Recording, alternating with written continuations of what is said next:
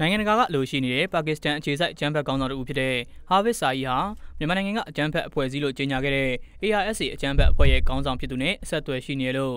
republicwar.com ကပြောဆိုခဲ့ပါတယ်။အဲဒီလိုဆက်သွယ်မှုရှိနေတဲ့တည်အဖြစ်2012ခုနှစ်ကသူတို့အတူရိုက်ကူးခဲ့တဲ့ဓာတ်ပုံတွေကိုပါ republicwar.com ကဖော်ပြခဲ့တာဖြစ်ပါတယ်။ ARSA အကြမ်းဖက်အဖွဲ့ဟာစာရေးနဲ့အဆက်အသွယ်ရှိနေကြတာကြောင့်ဟိန္ဒူဘာသာဝင်တွေကိုကလေးပါမကြမ်းတနာညာထားခြင်းမရှိဘဲအစုလိုက်အပြုံလိုက်တပ်ဖြတ်ခဲ့ခြင်းဖြစ်တယ်လို့ republicwar.com ကသုံးသပ်တင်ပြခဲ့ပါတယ်။ ARSA အကြမ်းဖက်ခေါင်းဆောင်ဆိုသူ အတက်အူလာဟာပါကစ္စတန်နိုင်ငံကရာချိမြို့မှာမွေးဖွားခဲ့တာဖြစ်တယ်လို့အဲဒီ website ကဖော်ပြခဲ့ပါတယ်။မြန်မာနိုင်ငံမှာဖြစ်ပွားခဲ့တဲ့အကြမ်းဖက်မှုတွေဟာပါကစ္စတန်နိုင်ငံနဲ့ပတ်သက်မှုတွေရှိနေသလားဆိုတာကိုလည်း republicworld.com ကပြီးခွန်းထုတ်ခဲ့ပါတယ်။စာအီဟာပါကစ္စတန်နိုင်ငံနဲ့ပတ်သက်မှုရှိရလို့ပါကစ္စတန်နိုင်ငံသားရေးဝန်ကြီးခါဂျာဝါအာဆစ်ကဝန်ခံပြောကြားခဲ့တာဖြစ်ပါတယ်။ပါကစ္စတန်အုပ်ချုပ်ရေးပိုင်းဟာဟာဗစ်စာအီကိုအကြိမ်ပေါင်းများစွာကာကွယ်ပေးနေခဲ့တာဖြစ်ပြီးစာအီနဲ့သူ့ရဲ့အကြမ်းဖက်အဖွဲ့တွေကိုသူတို့ဘာသာသူတို့ချေမှုန်းဖို့လှုံ့ဆော်ခဲ့တယ်လို့သိရပါတယ်။ ဟာဗစ်စာဟီဟာကုလသမဂ္ဂကအကြမ်းဖက်အဖွဲ့အစည်းဖြစ်သတ်မှတ်ထားတဲ့လက်ကာအီတိုင်ဘာအဖွဲ့ကိုပူးတွဲတည်ထောင်သူတူဖြစ်ပါတယ်။စာဟီဟာနိုင်ငံတကာကအကြမ်းဖက်သမားအဖြစ်သတ်မှတ်ထားပေမဲ့ပါကစ္စတန်နိုင်ငံရှိဘာသာရေးအဖွဲ့အစည်းတွေကြားမှာတော့လွှမ်းမိုးမှုရှိသူတူဖြစ်တယ်လို့သိရပါတယ်။စာဟီဟာအမေရိကန်နိုင်ငံသား6ဦးပါဝင်